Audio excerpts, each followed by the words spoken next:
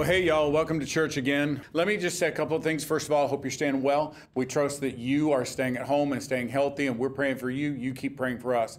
Keep connecting with our content online uh, because that's how we're going to keep the whole church together also at this point in the service i always talk about uh, giving. I would have the ushers come down. We take the offering. I want to remind you i've said it every week and you guys have been awesome about keeping up with this but tithing is not a matter of payment for services rendered. It's a matter of our worship. So in this point of our worship you make sure you go online and give. I'm sure you know how to do all of that by now uh, but you make sure you go online and give. And one more time, one more time, if you're if you don't go to church here, if this is not your church home, you give to your church home. They need it. All right. God will take care of us while you take care of them. All right. But if this is your church home, God's going to take care of us through you. Just saying. All right. So we're in week three now of our series on signs and wonders. Again, coming out of a book by Dr. Stephen Elliott called By Signs and Wonders. It'll, it's available on Amazon if you want to pick that up. And we are we, we've committed ourselves this month to doing four things: praying, fasting, believing, and trusting. Praying. Why? Because when we're on our knees praying, we've got ourselves in right position before our God. We are surrendered. And we've talked over and over and over again throughout this series, and I'm going to keep doing it, about the fact that this, seeing the miraculous work through us, is a matter of surrender. Uh, again, these doctrines are not doctrines of power so much as they're doctrines of surrender. When we surrender ourselves to the Holy Spirit, holiness takes hold. When we surrender ourselves to the Holy Spirit, uh, the miraculous can take hold. When we have surrendered ourselves, when we have surrendered ourselves to the point that it's not about us anymore, that's when the Holy Spirit is released. That's when, to use a phrase I used last week, that's when we get out from behind the tree and we start to see what God is really doing. Praying, which puts me in right position. Fasting, which teaches me to deny myself of something for the glory of God. Listen, uh, self discipline and, and self control is a major part of Christianity, of Christian living. And so, so, so when we when we discipline ourselves, when we deny ourselves, when we fast something, give something up to the glory of our God, what we are doing is we are we're again lowering ourselves. We're again submitting ourselves to a God who is just looking for us to quit resisting so that He can see us through. You know, then, then there's then there's believing. We've got to, you know, faith, y'all.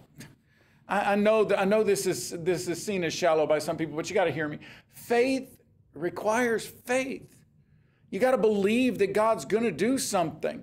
You've got to believe that God can and will move on our behalf. You got to believe that God cares enough about our world that He will do the miraculous. He will intersect our normal with His supernatural. And, our God can do that. And we need to believe that He will. We need to have faith, expectant faith, believing, and then trusting. When God does not move the way we want Him to, or when God does not move the way we expect Him to, we can't dismiss, well, God didn't do a miracle this time. Well, maybe He did. But maybe it's just not the way you expected it. Maybe it's not the way you saw it. Maybe it's not what you wanted, but it's what God did. The truth is, God does his work His way in His time. And we've got to trust that He knows what's right for us. There are plenty of times in my life that I, have wanted God to do things one way or I've wanted God to do one thing and He didn't do it. He did something else. And I've thought to myself, God, what are you doing? What's going on? Did you did you miss it? Did you were, were you know were you not paying attention? And it, look, God is always paying attention. So these are not safe questions, really. Well, they are because God loves us. But we've got to understand it's God's will, not ours. And when we submit ourselves to His will that way, then all of a sudden we're in right position to see His power move through us. When we're fighting against Him, when we're not trusting Him, is when we're in trouble. You know, it's kind of like someone that's drowning. When you jump in to help someone that's drowning, you've got to be careful because in their panic, they won't surrender to your help. You see, what they really need to do, if you're healthy, you're strong, and you're, you're fresh, and you're in here trying to help them as they're drowning, what they need to do is allow themselves to just surrender to your help. Because, quite frankly, when they stop thrashing, they'll float better. When they stop fighting you, you can pull them in, you can help them. But if they're thrashing against you, your help, it's there, but they're not going to experience it because they're fighting you. They're actually fighting what would save them. Church, church, listen. We can find ourselves fighting the very power of God that is designed to save us if we aren't careful. We've got to surrender ourselves to our God. Now, miracles. I use this phrase a lot. Now, I, I just want to unpack it for just a minute because th- this week and next week, I want to deal with the power of miracles, what miracles really look like.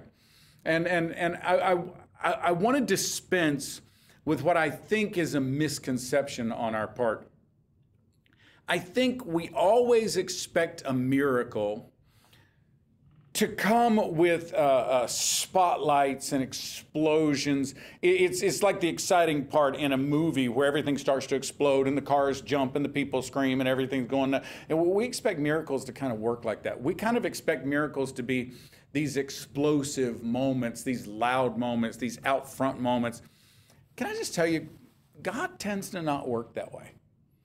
God's not into, stay with me now. Stay, I, I, I, some of you are going to argue with me, but stay with me. In general, God's not really into the flashy. It's, our, it's the enemy of our souls that's into the flashy. The enemy of our souls wants to make things explode and wants to make everything loud and make everything chaotic. Our God's really not like that.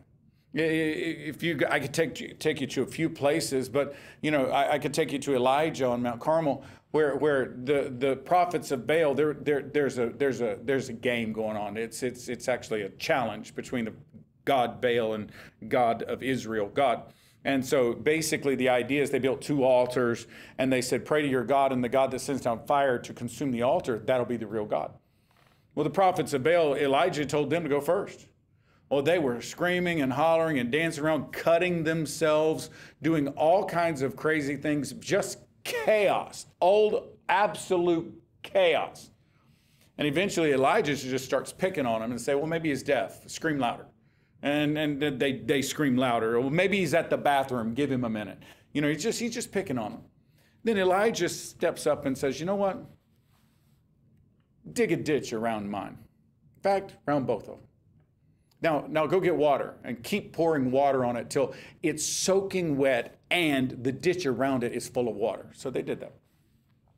And Elijah got down and I paraphrased the, the prayer, but he basically said, God, show these people who you are.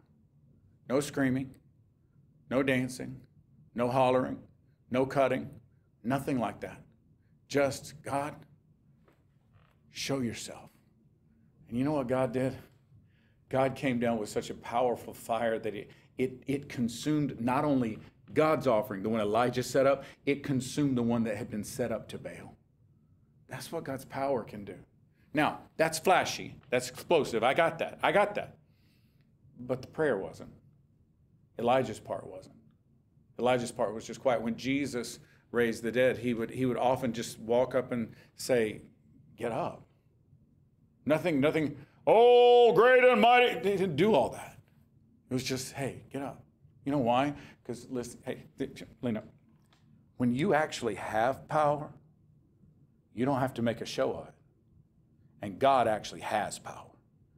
That, that, that's what we need to understand about it is we're looking for the magic trick. We're looking for the explosive moment in the movie. We're looking for all that stuff. God's just looking to do something outside of that supersedes our natural. God's just wanting to be himself in our world. But God being himself in our world is miraculous to us. And God just wants to be himself. Let me show you a few of these. In Acts chapter 3, you get one of these early miracles where Peter said, Peter and John are headed to the gate called Beautiful, and, and they, they see a beggar there, and the beggar is asking them for money. And, and Peter and John stop and they say, Look at us. And so the guy looks up, obviously hoping to get some money. And then Peter says this to him Silver or gold I do not have. Watch. The trappings of the world I do not have. Watch. The power of the world I do not have. Listen, the thing you think you want, I do not have. But what I do have, but what I do have, I give you. Watch. In the name of Jesus Christ of Nazareth, walk. The guy wants a dollar, and Peter gives him the healing he thought he could never have. It's not dramatic. There's, there, there, there, he didn't draw a crowd. He didn't set up a stage. He doesn't, he doesn't, and everybody passes out. No, nothing like that. In fact, there's not even, to my, to my knowledge, when I read this, there's not even an audience. There, there, there's just there's just the people that are walking to the gate. Maybe there's a group of people following Peter and John because it seems that people followed them everywhere. But but it's not like they had set up a big tent revival service, a big healing service. No, no, no. They're just walking down the street. And the dude says, Hey, can you give me some money? And they stopped. They said, Well, you know what? Listen, listen to the words. Listen to the words. What you're asking for is what the world says you need. But what I can give you is what God says will set you free. Watch. The power of this miracle is a power over sickness. Any kind of sickness. You, you, it, could be, it could be a physical sickness, a mental sickness, it could be a physical disability, it could be a, an internal sickness, any kind of sickness. In this case, the man can't walk. He, he's got a sickness that causes him to be unable to walk. But I want you, I want you to watch. I want you to watch. I want you to watch. It could be a spiritual sickness. I want you to watch. The real outcome of this power over sickness is a new strength that you did not have when the whole moment began. He found a new strength. You know, what sickness does to us, what dis ease does to us is it weakens us. In this man's case, his legs were weak and he could not stand up and walk. In our case, maybe maybe depression has left us to the point that we don't have the strength to get up and move on. Maybe maybe stress has left us to the point that we we our bodies can't heal itself. Maybe we're truly physically sick. But in the end, watch. I want you to see the deeper work that is done in the miracle. The deeper work in the miracle is a new strength. Whatever the weakness, whatever the illness, whatever the sickness, whatever, whatever the problem, there is in Christ a new strength. That's what God wants to give you. That's what's really going on here is a new strength. Listen, we may say, well, I want to walk into the hospital and like lay hands on somebody and then get up and, and start shouting and running, uh, running the hallway. Okay, wait, wait. No, no, no. God wants to give health and strength to people who lack that. And he wants to do that through you. And it may be a moment where you look at them and you say, rise and walk, and they get up. That's, that's, that, that's the obvious miracle. Or it may be more the fact that they've been waiting on somebody like you to show up. And once you show up, through the power of the Holy Spirit in you, they find the strength to get up and move on. That is no less miraculous than what happened right here in Acts chapter 3. See, when we help people, when the Holy Spirit leads us to someone who needs what we have, and we give them through His guidance and His words and His strength, we give them the strength to move on, a new strength they did not have before. When that happens, that's miraculous to somebody. It's a miracle when you just show up.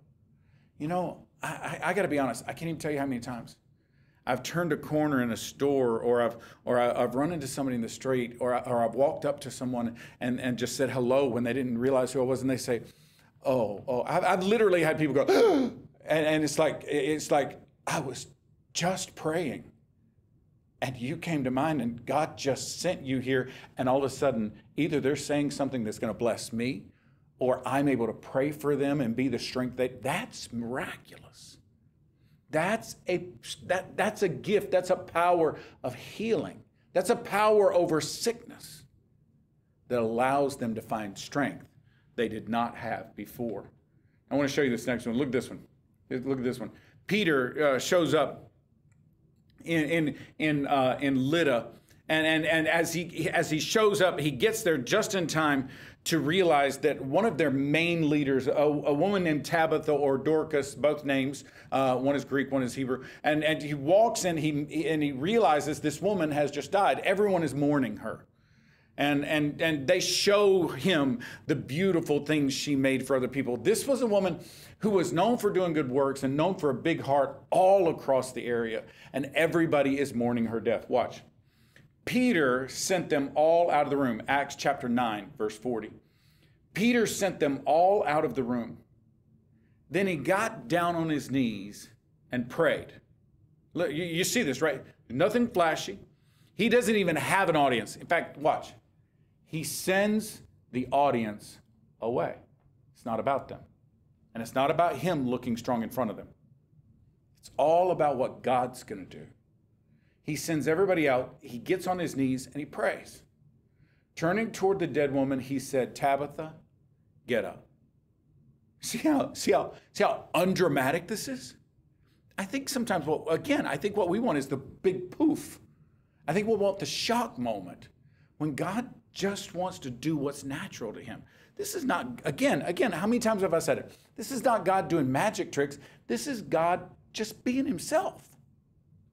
And Peter realizes this is what God wants to do. And so he looks at her and he says, Tabitha, get up. She opened her eyes and seeing Peter, she sat up. Look, there's power over sickness, which is giving new strength. But there's also power over death, which is giving new hope. You're saying, Pastor, are you telling me that if we have enough faith, we can raise the dead? Okay, okay, you haven't been listening to me for the past three weeks. It's not about the size of your faith, it's about your faith in a huge God. It's not about the size you. No, no, no, no, no. You do not and you cannot have enough faith to raise the dead. But your God is powerful enough to raise the dead if He chooses to do it. Not because you want Him to and not because you prayed right. Not because you're living right or not because you said the right words. No, it's not like that. It's his power over death. Watch.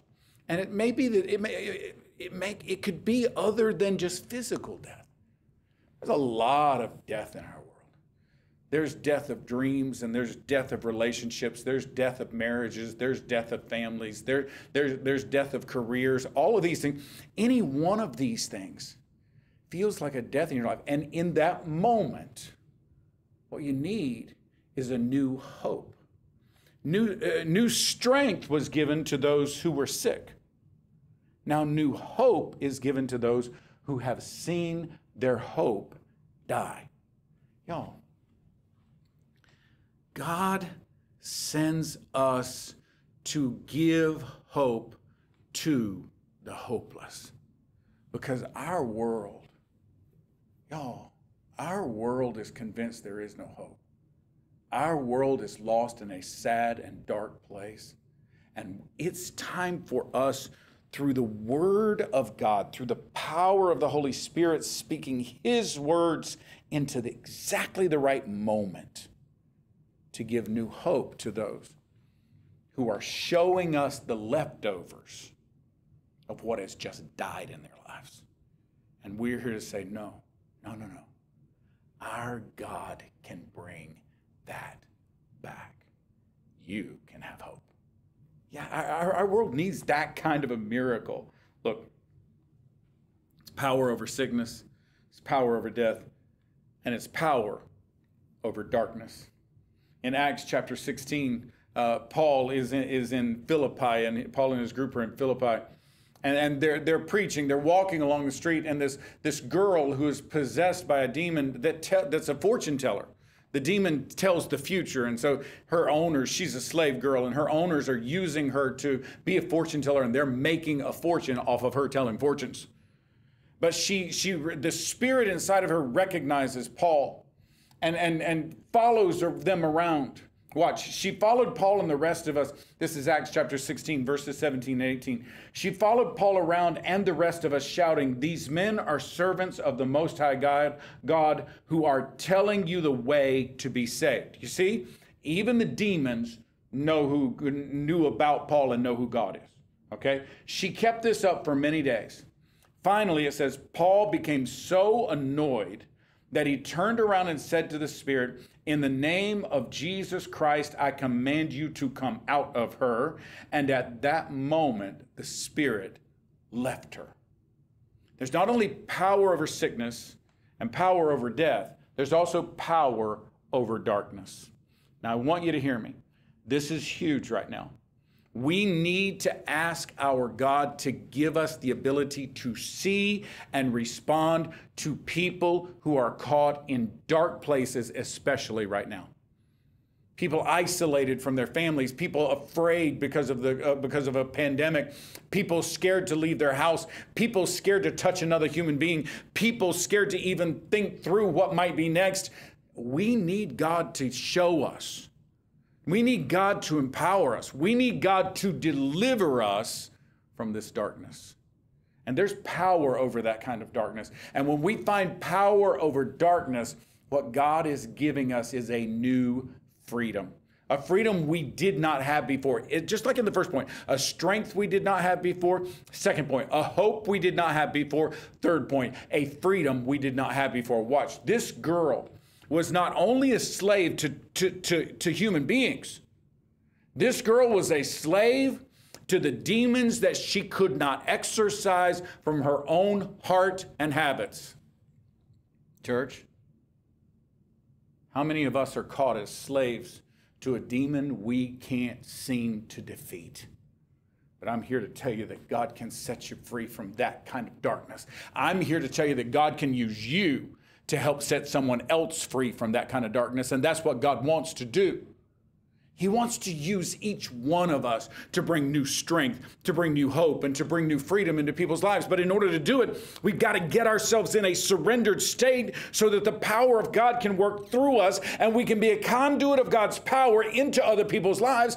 And that power will work in miraculous ways in their lives. Not because we're awesome, not because we're cool, not because we have any ability at all, but because our God is greater than their sickness. Our God is greater than than their death. Our God is greater than their darkness. Our God is greater than everything, anything and everything else out there. But we need to be surrendered to Him because He's the answer, because we're not.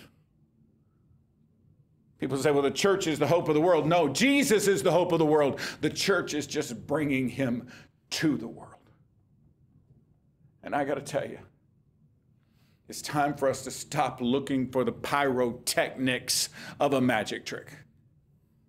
It's time for us to surrender to the God who's less interested in the flashy showboatmanship of our world and instead interested in making people's lives better, giving them new strength that they did not believe they could ever find, new hope that they never thought was possible and a new freedom that they truly thought had passed them by.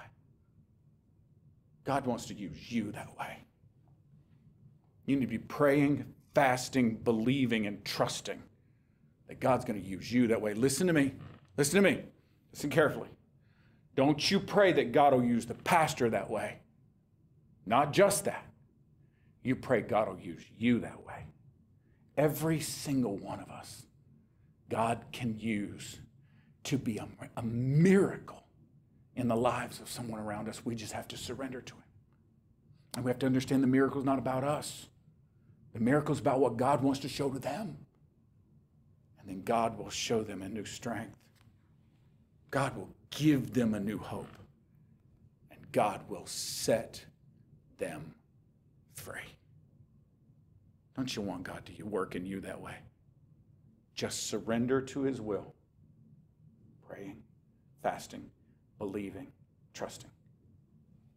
And let him do his work through you. Let me pray with you. Holy Spirit, speak to us right now.